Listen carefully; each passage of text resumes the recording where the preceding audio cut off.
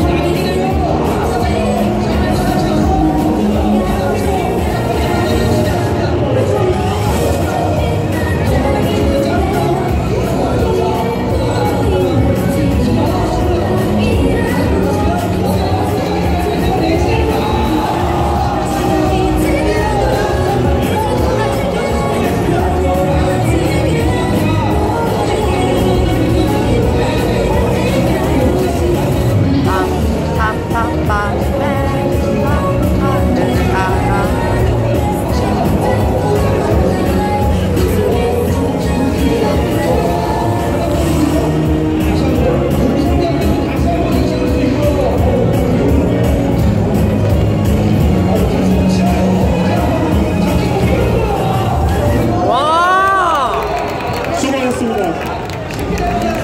다들 고역구가